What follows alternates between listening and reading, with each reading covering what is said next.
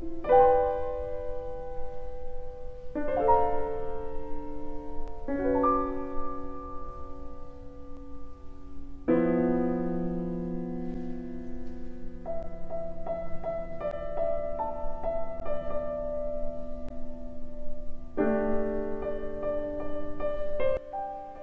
I'm stuck in my house due to a deadly virus you'll probably be experiencing in, I don't know, 10 years, I wondered how you were doing.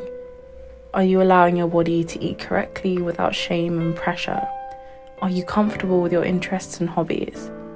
Maybe you've just discovered your emo phase and wish to have brightly coloured streaked hair. I want that for you.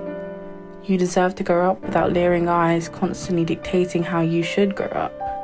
The constant pressures of a young girl blossoming into a woman aged me up, and I can no longer think of time day by day, but instead decade by decade.